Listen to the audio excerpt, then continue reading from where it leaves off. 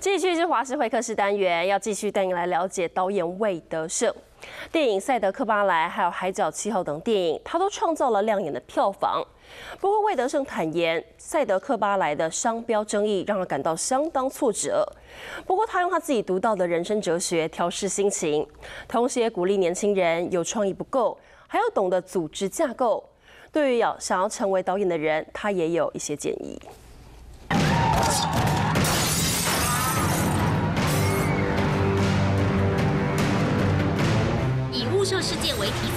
描写莫大鲁道带领族人浴血反抗日本长期压迫。导演魏德胜二零一一年执导电影《赛德克巴莱》，找来马志祥、林庆台、徐若瑄等人主演。当时上映掀起轰动，在台湾创下八点一亿台币票房，但过程却让魏导很受挫。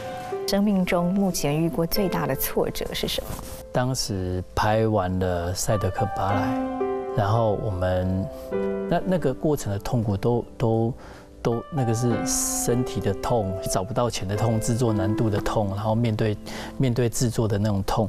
可是真的拍完之后，我我觉得我们在做一件很棒的事情，而且一群人为了为了一个这样的故事，大家付出的心力那么的大，付出的。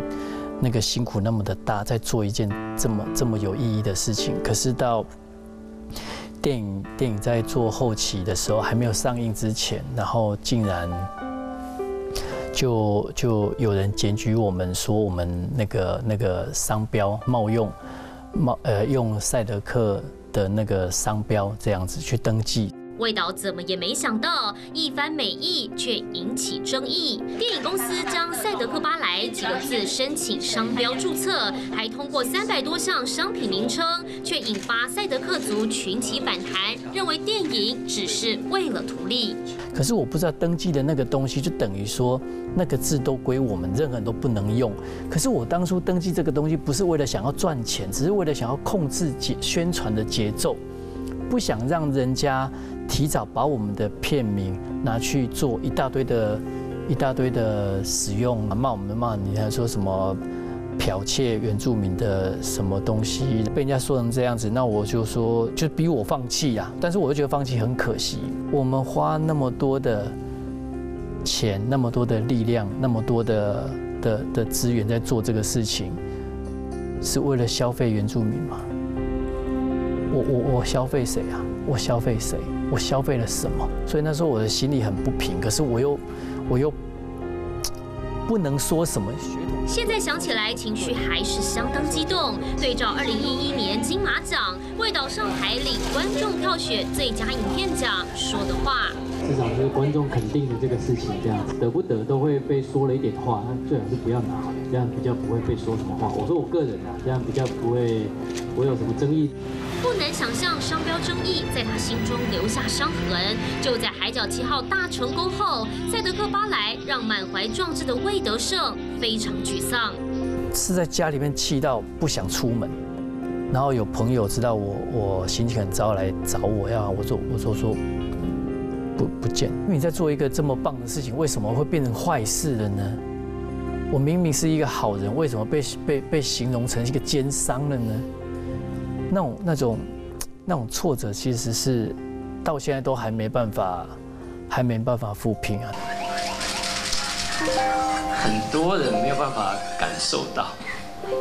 尽管能快速调试情绪，但魏德胜讲起拍片的苦，还是忍不住哽咽。他始终相信，只要有信念，下一个海角七号会再出现。十几年的导演生涯，让魏德胜看尽台湾电影生态。对于想成为导演的年轻新秀，他有话要说。啊，不要说导演了，学生也好，我觉得都创意无限，非常好。